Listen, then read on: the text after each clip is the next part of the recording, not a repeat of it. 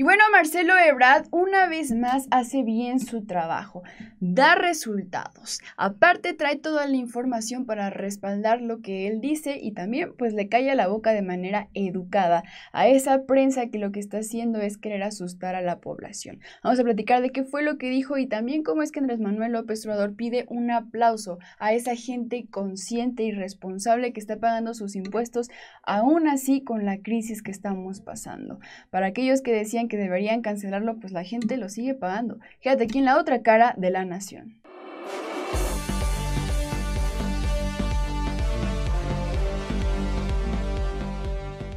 Amigos, bienvenidos a este su canal La Otra Cara de la Nación. Mi nombre es Carla Luna y como siempre estoy feliz con todos ustedes por estar aquí un video más, por apoyar y sobre todo por compartir este canal para cada vez ser más mexicanos los que estemos 100% informados sobre lo que sucede en nuestro país. Recuerden que la información es poder y estar informados depende de todos nosotros. Y ahora vamos directamente con la información que les tengo preparada para este video y es que Marcelo Ebrard le calla la boca a una agencia de prensa que empezó a decir que Estados Unidos estaba mandando a migrantes que pues lamentablemente estaban ya afectados por este mal que está desde que viene de Asia, de Estados Unidos, de quién sabe dónde, y que están llegando a México y que estos están también traspasándoles este mal a todos. ¿Saben a qué me refiero?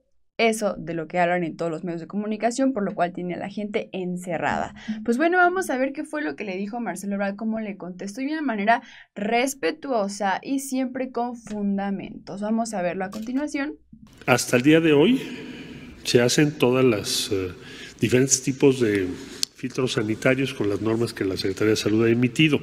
Solamente hemos encontrado uno que estaba en un albergue de la iglesia en Nuevo Laredo y hemos estado trabajando muy cerca en la Iglesia Católica con sus diferentes redes, no, no de ahora, desde el que empezó el gobierno, y así lo seguiremos haciendo. Y no, no se colocan a centroamericanos en medio de ningún lado en el sur del país. Eso no lo estamos haciendo. Sí estamos accediendo y facilitando su regreso a sus países cuando sus países lo aceptan y el migrante lo acepta. ¿Por qué, ¿Por qué está pasando esto? Desde que apareció el una reducción del flujo muy drástica. Diría yo que los flujos migratorios que tenemos al sur y al norte son muy bajos respecto a lo que habitualmente son, por una razón explicable, que es la situación sanitaria que tenemos.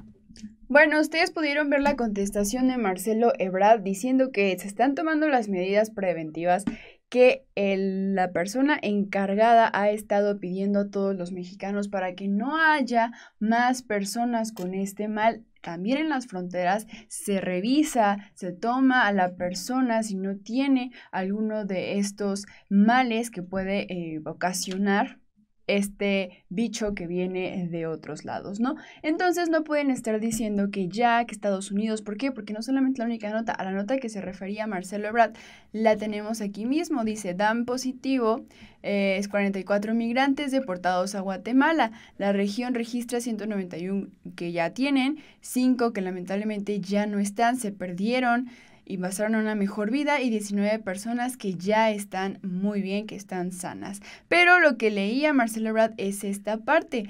Dice, ese día llegaron dos vuelos deportados, uno con 106 migrantes procedentes del Paso, Texas, y el otro con 76 desde Brownsville, Texas. Pasajeros de este último fueron los que resultaron pues que lamentablemente tuvieron este mal, informó de Associated Press, un oficial de gobierno con conocimiento de la situación, pero que no está autorizado a dar esa información. El mismo lunes, tres migrantes que presentaban esos males fueron separados tras su llegada a Guatemala, o sea, ni siquiera pisaron territorio mexicano. Y el Ministerio de Salud dijo que uno de ellos había resultado pues que sí tenía tras la situación, se dispuso a realizar la prueba. Al resto de los pasajeros informaron entonces las autoridades.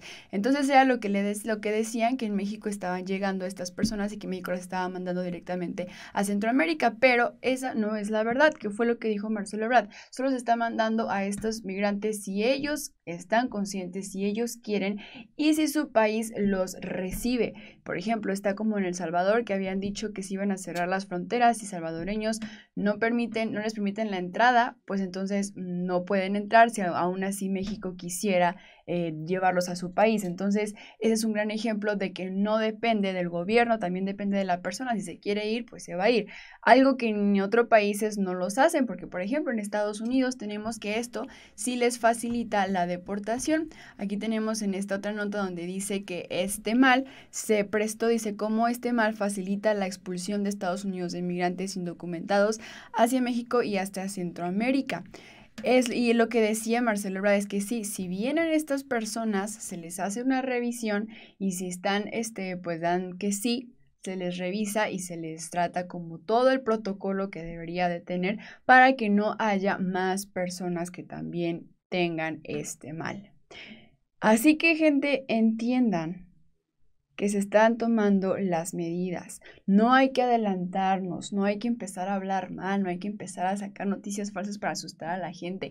Obviamente el país Ningún país está preparado para empezar, ni un solo país, así sea el mejor de lo mejor, no está preparado para algo tan grande como esto. Pero México es esto lo que está dentro de sus posibilidades y poquito más para que no haya más personas que lamentablemente se vayan de este mundo por esta crisis que estamos pasando. Entonces, por eso le cayó la boca a Marcelo Ebrard. Tenemos aquí en esta que nos dice que de acuerdo con los datos oficiales, Estados Unidos ha expulsado a más de 6.300 personas por su frontera tras la aprobación de poderes de emergencia para frenar la, pues, este mal, ¿no? Tenemos acá un migrante deportado que fue el que dijo Marcelo Ebrard que solamente tenía registrado uno. Un migrante deportado de Estados Unidos fue la persona que le pasó esto a 14 en un albergue de México. Fue la misma noticia, la misma información que compartió el canciller sobre esta situación. Del número total de migrantes que dieron que sí, 14 lo adquirieron en un mismo albergue de migrantes de Nuevo Laredo, que es el que decía Marcelo Ebrard, a donde ingresó uno de ellos luego de ser deportado de Houston, Texas, sin conocer su condición de ser una persona que podría traer este mal. Pero bueno, también dicen que las escasas pruebas de Estados Unidos a deportados favorecían este lamentable hecho que les voy a subrayar a continuación. Pero como dijo el encargado de exteriores, pues es que es necesario hacer todas las pruebas, todo lo que nos están pidiendo para evitar que más personas terminen así. Entonces, en otras noticias también de la misma mañanera, el presidente le cayó la boca a los empresarios, también a Pedro Ferriz, al decir que los mexicanos que apoyaron a Andrés Manuel López Obrador no pagaban impuestos, que era una sociedad que, así en sus palabras, ignorante, personas sin educación, personas que hacían lo que el presidente decía. Vamos a ver cuáles son sus palabras textuales, porque sí, aquí las tenemos. Dice...